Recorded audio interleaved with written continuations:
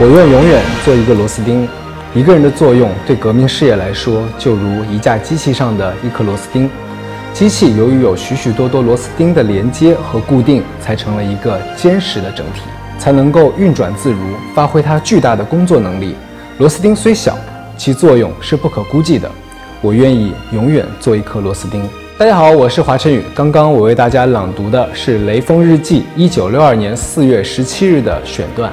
螺丝钉看似很小、很普通，却对整台机器的正常运转有着不可或缺的重要作用。在我眼中，螺丝钉就像音符一样，每个音符都有独特的价值和作用。作为歌手，我认为应该从我做起，向雷锋同志学习，干一行爱一行，钻一行，用螺丝钉的精神去研究每一个音乐作品，为大家带来更多更美好的音乐。